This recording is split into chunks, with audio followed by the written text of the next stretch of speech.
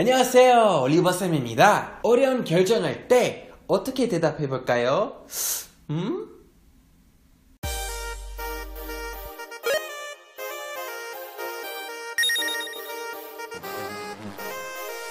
살다 보면 어려운 결정할 때가 있어요. 친구가 큰 부탁했거나 큰 제안을 받았을 때, 특히 고백 받았을 때 그렇죠. Can I ask you something? Will you be my girlfriend? 내 마음 받겠지?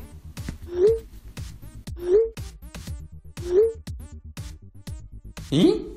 잔다고? 이거 무슨 뜻이지? 왜 갑자기 자?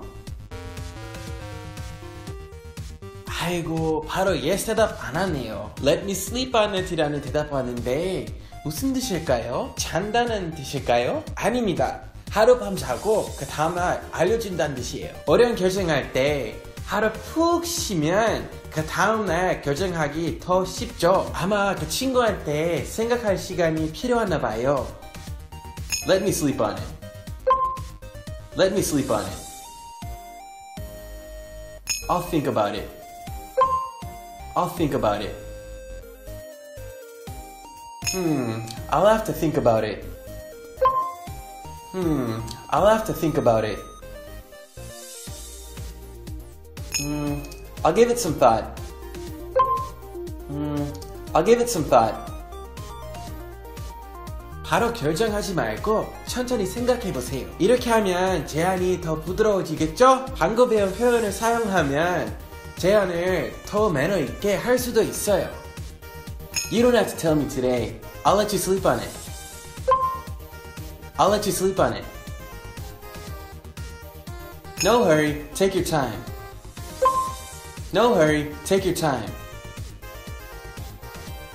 There's no rush. There's no rush. No pressure. No pressure.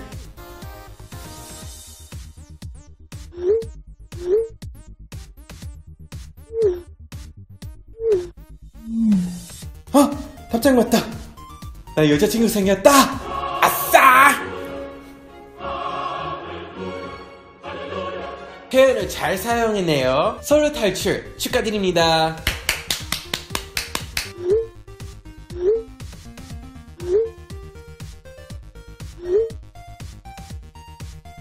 선택 장애는 한국에만 살고 있는 거 아니에요. 미국에도 아주 많습니다. 그래서 물론 표현도 있어요.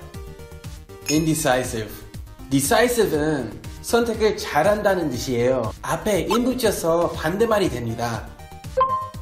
indecisive. He's really indecisive. He's really indecisive. Why are you so indecisive?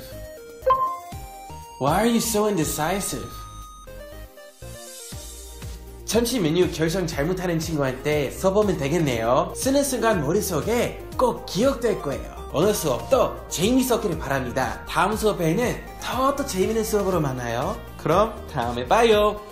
뺑!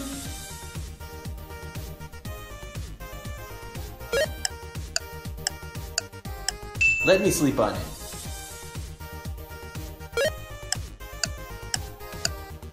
Mm, I'll give it some thought.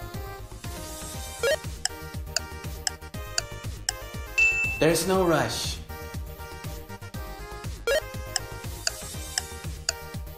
He's really indecisive.